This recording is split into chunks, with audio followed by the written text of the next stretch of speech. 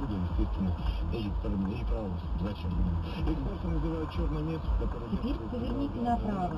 Вероятность претендентов на американскую кинопремию биографический фильм стартует в российских кинотеатрах 29 октября. Лента рассказывает об бостонском гангстере, который был замешан в 19